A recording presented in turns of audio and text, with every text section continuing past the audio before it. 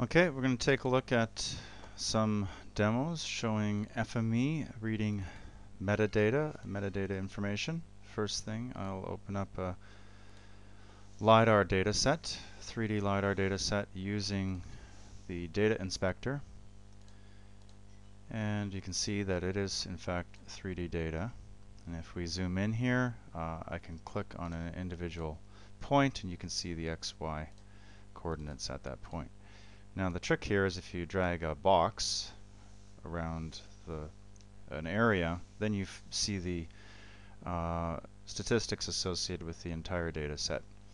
So you have things like file uh, creation date, uh, generating software, and even a project ID, and uh, of course the coordinate system. So all this information uh, can be used um, in let's say if we were going to generate a metadata record uh, for that data set. And this goes, this is the same for raster data, vector data. There's a lot of, of um, uh, background information that you might not normally see in a typical uh, viewing application.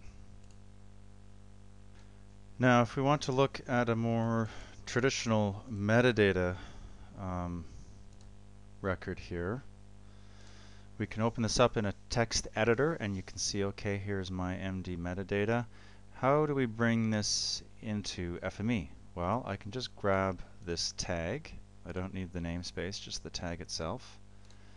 And then I'll right click on the metadata XML, open with FME Workbench, use the XML reader, and drop in the element to match and make sure I choose flattening.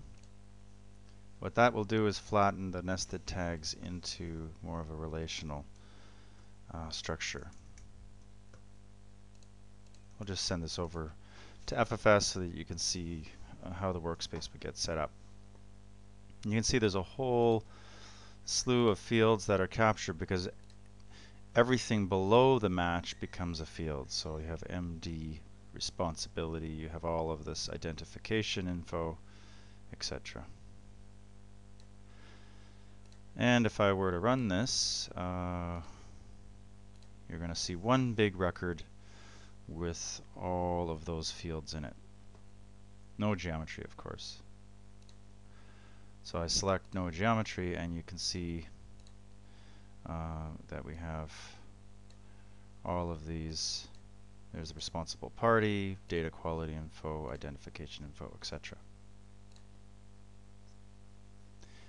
Now, if we want to read the read this but break it up into separate tables, we'll do the same thing.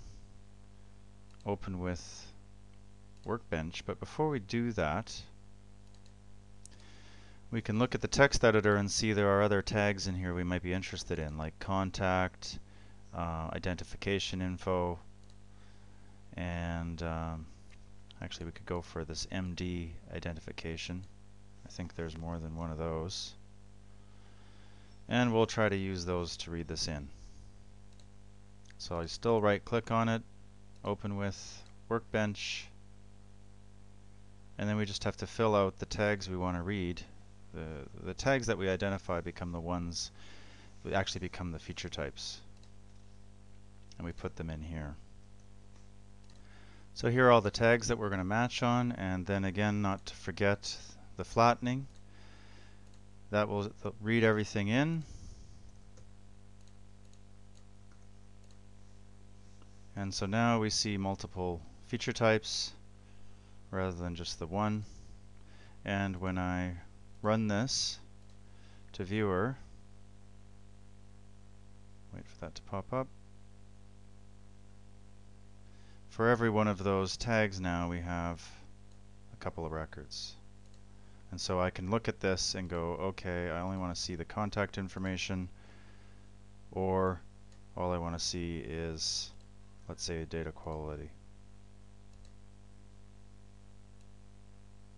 There you go. So that's how to view metadata either by looking at the metadata fields in a dataset or by reading the XML. Thank you.